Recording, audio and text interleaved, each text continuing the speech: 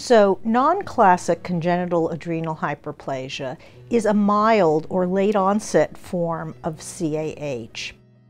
We most often encounter this in the pediatric population in young boys who are starting to develop early onset body hair and a growth spurt. The same may be true of young girls who may begin to show underarm hair or pubic hair before the usual time of onset of these signs and symptoms. In the adolescent population, teenagers may complain of severe acne. Teenage girls may have unwanted facial or body hair, and they may experience irregular menstruation. And more importantly, young adults with this condition may suffer from infertility, which is readily reversible with treatment.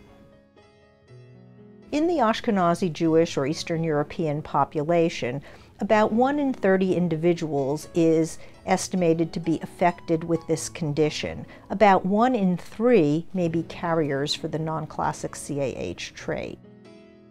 Non-classic CAH may not be on the radar screen for many physicians and even geneticists because it is not a life-threatening condition. So it goes to the question of quality of life and one has to think of the diagnosis in order to make the diagnosis.